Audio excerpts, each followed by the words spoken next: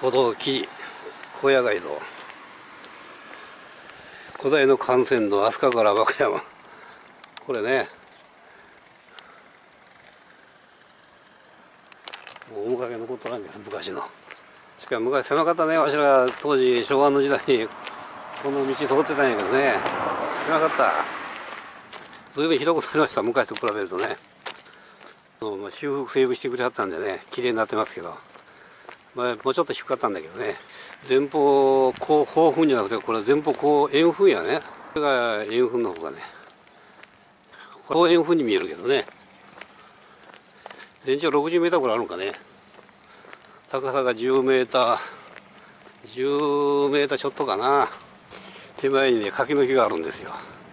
あれがね最初に来た時ものすごくね滑稽なあの感じしたんだけどね。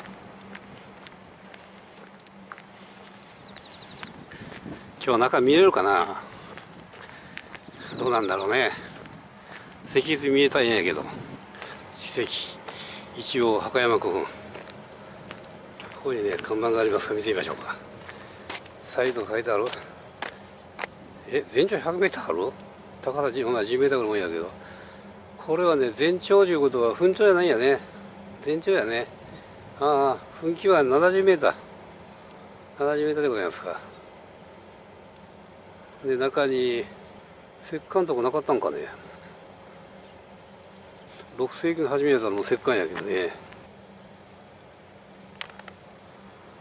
いやなかなかいい中身が2段になってるんですね。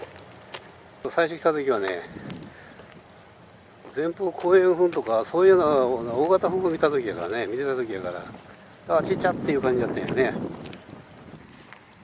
だから上半分ぐらいよ上は森と下みたいな感じが。これで見るとほんまにこれああな,、うん、なんとなくわかるか。ね高さがほとんど一緒なんでね。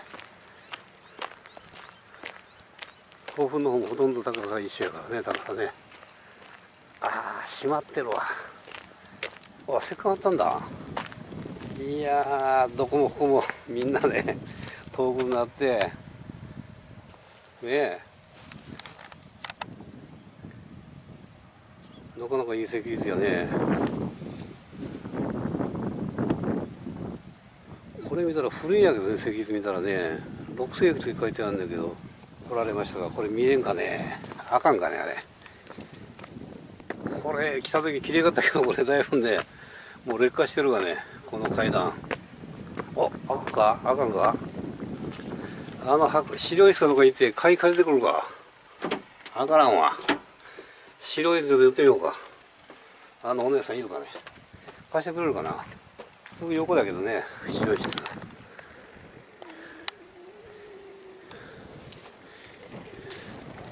残念やったね。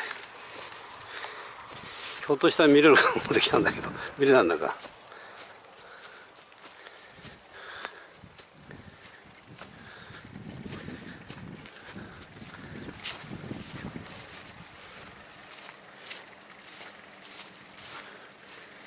これが公園部ので一番高いところでございます。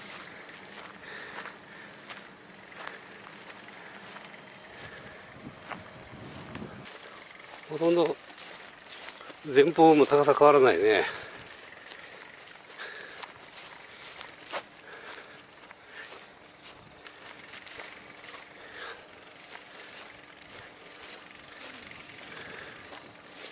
全長いうことはこの号の外まで含めて 100m ということを言うたのがね。これたら 100m 以上あるね。ちょっと広くちょっと広いね。あのこれが 70m で 100m 以上あるんだけど。ここから見ると分かるね。ここから見ると高さがねちょっと後ろが高すぎるもんでね。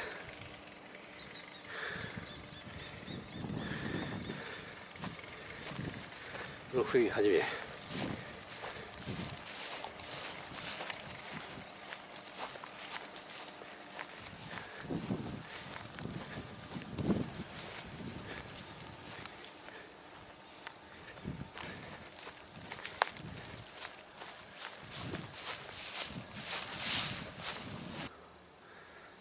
なかなかいい感じのね形してるんやけど手前ちょっと崩れとるけど。